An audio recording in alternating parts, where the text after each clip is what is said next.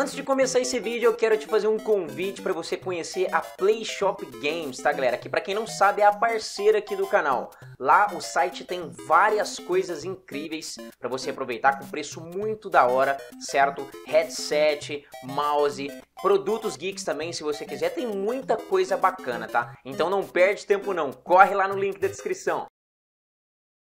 Jogos épicos, consoles extraordinários. A próxima geração do mundo mais vívido e magnífico que conhecemos. Sim, jovens, o mundo dos games em 2020 será para aqueles que são ousados em desafiar os seus limites, corajosos o bastante para enfrentar qualquer obstáculo que os aflige e o melhor, ano para aqueles que estão preparados e totalmente ligados sobre os grandes e brilhantes jogos prometidos para o ano que talvez seja o mais épico dos últimos tempos. Para você que tá ligado, aqui quem fala é o Spirlandelli. No vídeo de hoje, você vai ficar antenado sobre os 10 jogos de mundo aberto mais esperados, mais aguardados e mais hypados de 2020. Então se prepara, porque tem muita coisa incrível. E o vídeo está apenas começando.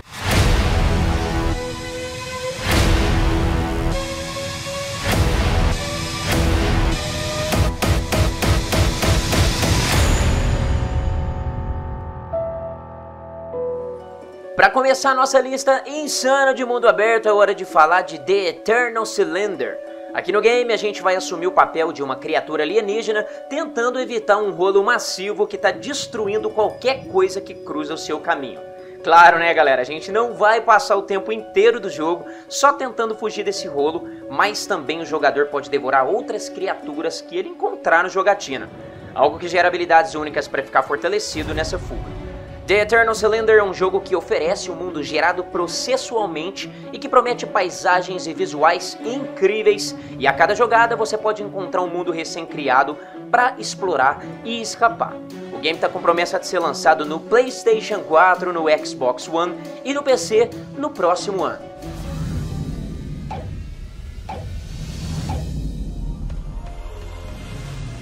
Falando em favoritos para a turma do Nintendo Switch, é lógico né, que 2020 não iria passar em branco. Animal Crossing The New Horizons é realmente um jogo para deixar você relaxado, tranquileba, e o game coloca o jogador em uma área específica, e a partir daí tudo se resume em manter sua casa e socializar com outros NPCs presentes. Por exemplo, galera, aqui a gente se muda para uma ilha deserta e com isso vem a tarefa né, de limpar a área enquanto a gente lentamente constrói uma comunidade. O jogo estava previsto para chegar esse ano ainda, mas a Nintendo optou por lançar o game no próximo ano.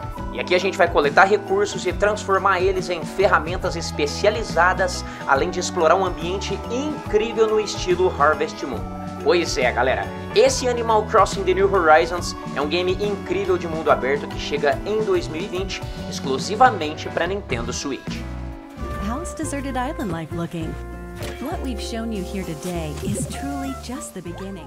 Situado na ilha de Tsushima em 1274, o jogo coloca os jogadores no papel de Jin Sakai, que é um último samurai que está lutando contra a invasão mongol no Japão.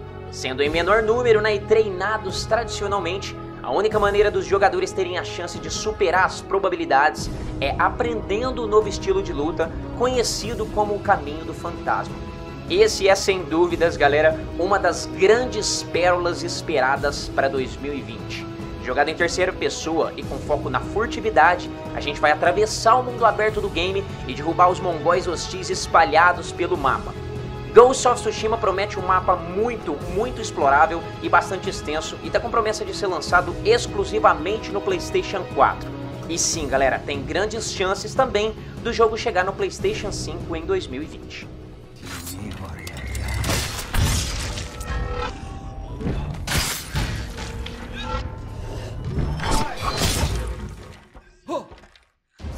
A espera finalmente acabou em 2020, hein, galera? Quando finalmente estamos recebendo aí uma sequência do muito amado RPG medieval, né, que é o Mountain Blade Warband, tá? Esse Bannerlord, galera, ele ocorre algumas centenas de anos antes dos eventos do primeiro jogo. E fora do combate multiplayer, o jogador também vai poder explorar um mapa rico com diferentes cidades. Além disso, a gente pode ajudar NPCs participar de batalhas maciças sozinho ou em grupo de tropas que pode até te vender espadas e acessórios em troca de uma moeda. Uma coisa bastante interessante, galera, é que em boa parte do jogo a gente vai precisar usar de estratégias, né, como monitorar estatísticas, mirar corretamente, bloquear com eficiência e, claro, entrar no campo de batalha com o equipamento certo. Com lança ou espadas, Mountain Blade 2 Bannerlord é um game de mundo aberto que também chega em 2020 exclusivamente para PC.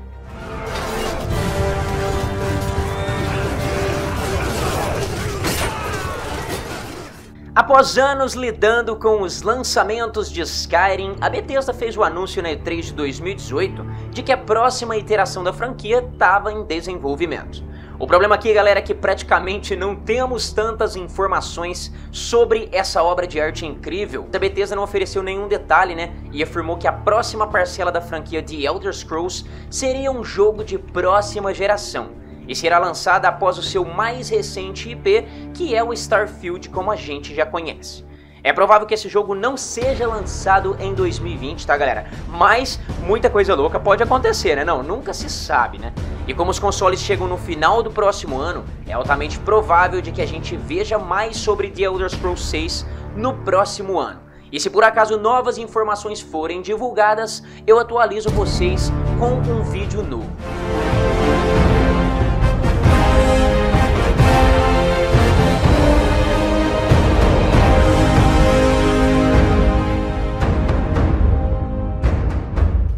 Sendo o terceiro título da franquia, Watch Dogs Legion é totalmente presente no universo de mundo aberto dos games em 2020, hein? Dessa vez o jogo se passa em uma versão fictícia de Londres, ao contrário né, das versões anteriores em que o jogo se concentra em um protagonista em particular, galera. Esse Watch Dogs aqui vai ter uma quantidade aparentemente interminável de personagens jogáveis. Enfim, esse é um dos jogos que eu também tô bastante hypado pro próximo ano, então bora já encher o cofrinho pra gente adquirir essa maravilha que sai no dia 6 de março no próximo ano, tá? E ele sai no PlayStation 4, no Google Stadia, no PC e no Xbox One. Robotic skill for teaching him to uh, reproduce. Já faz um bom tempo em que a gente tem esperado que a Ubisoft falasse mais do tão aguardado Skull and Bones, hein galera? O jogo está atrasado já faz alguns anos, mas o esforço da Ubisoft lançar ele em 2020 é bastante promissor. Se você não conhece, Skull and Bones é um game de guerra naval em mundo aberto, tá? E aqui a gente assume o papel de um capitão pirata que sai em alto mar em busca de tesouros e saques pra gente roubar. Enfim, é um game bastante explorável e conta também com o mundo aberto, tá? Skull and Bones é um game da Ubisoft que tem chances gigantescas de chegar não só no PC, né, como também no PlayStation 4 e no Xbox One em 2020 também.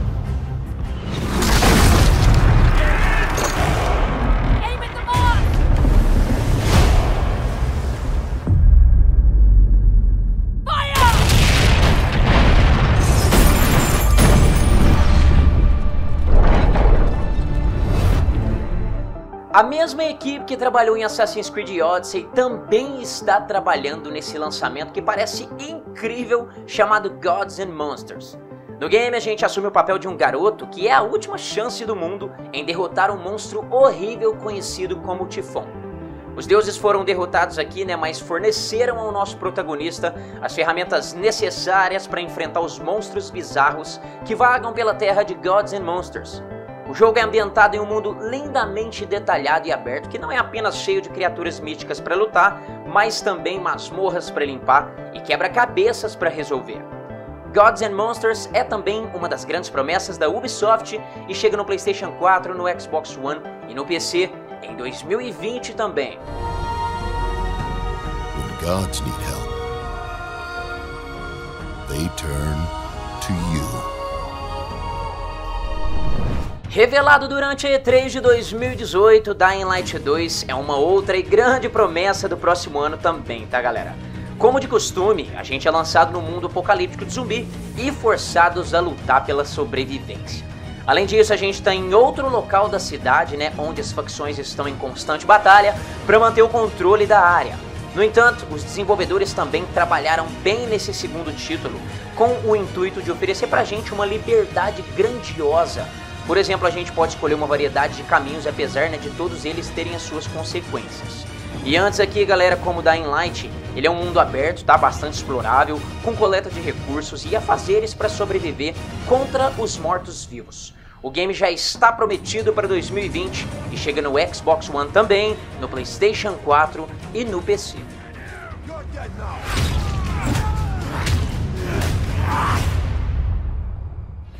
Para finalizar essa lista insana de mundos abertos épicos, né, prometidos para 2020, claro que eu não ia esquecer de jeito nenhum, meus filhos, de Cyberpunk 2077.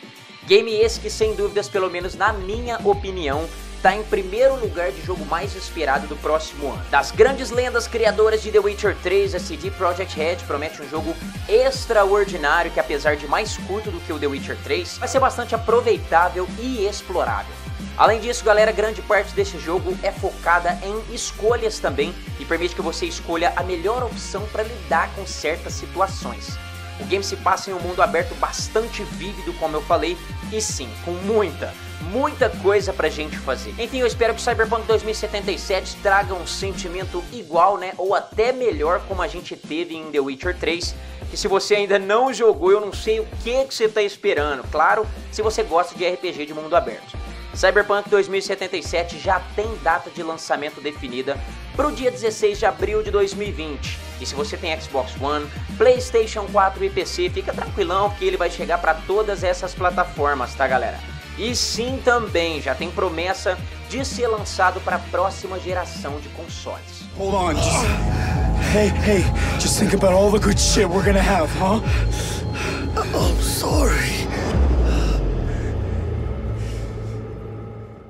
Então é isso, galera. Espero que vocês tenham curtido demais essa lista, né? Lembrando que tem vários outros jogos de mundo aberto que vai chamar bastante nossa atenção também como Halo Infinite, Project Awakening, Assassin's Creed Ragnarok, que também né, foi prometido pela Ubisoft e que é óbvio chegar como um RPG de mundo aberto mega promissor.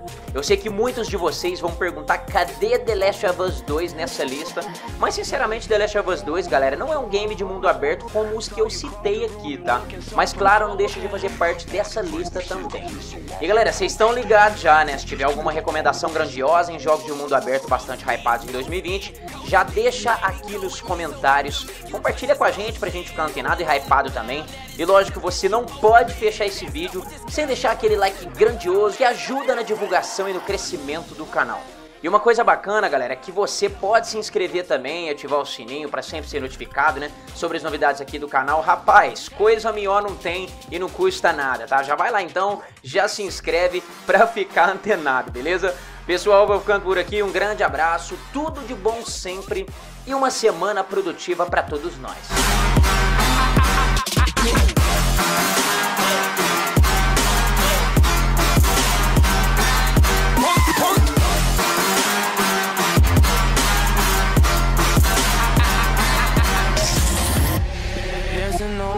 can't feel shit tonight.